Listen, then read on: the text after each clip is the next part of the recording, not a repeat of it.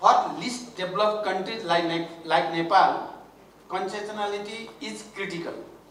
We are vulnerable to multiple crises and there is a genuine risk that our hard-won development gains could be reversed.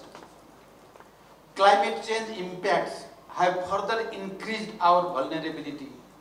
Nepal, despite contributing negligibly to global emissions, is disproportionately affected by the adverse effect of climate change.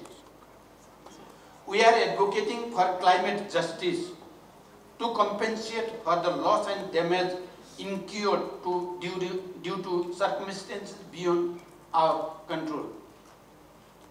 After having political stability, Nepal is now firmly on the path to economic development, harnessing its untapped potentials. Our strategic location between two of Asia's largest economies, our abundant hydropower resources, thriving tourism and agribusiness sector, and our young hard-working population are a key strength.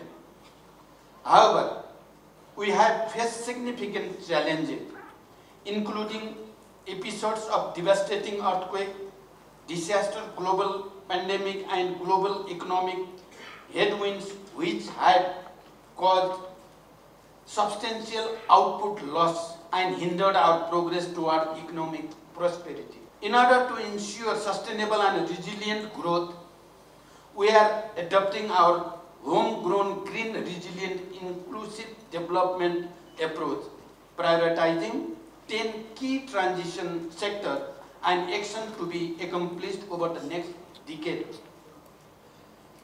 Nepal's development priority and grid approach aligns with the World Bank Evolution Roadmap and Global Challenge programs. IDA's commitment to strengthening country-driven model will empower countries to take ownership of that development agenda, foster inclusive stakeholder engagement, and build robust institution and system. It is important to create a more equitable and resilient global development landscape by provisioning a programmatic and uh, approach that allows implementation flexibility to the recipient countries. Realizing this fact, we wish to closely work with IDA and other stakeholders to streamline this approach in the IDA 21 cycle.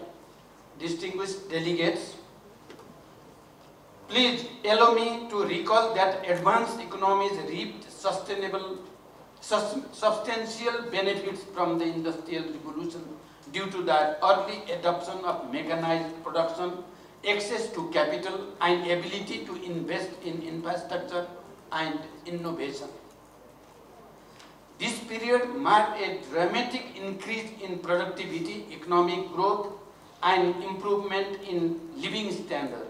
In contrast, mainly least developed countries were left behind, largely due to inadequate infrastructure, limited access to capital and technology, and political instability. These factors delayed their industrialization, technological advancement, and economic prosperity.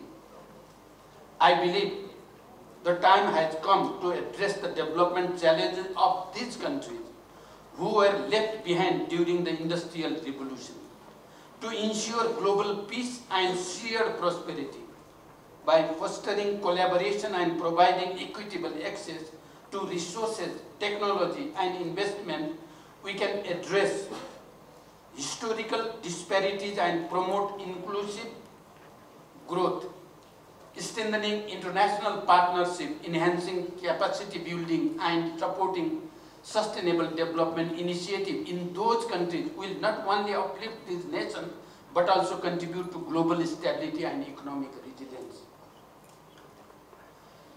Despite our concerted efforts to accelerate inclusive growth, we face fiscal constraint, deficit and increasing debt servicing obligation which create a substantial resource gap in financing our sustainable development goal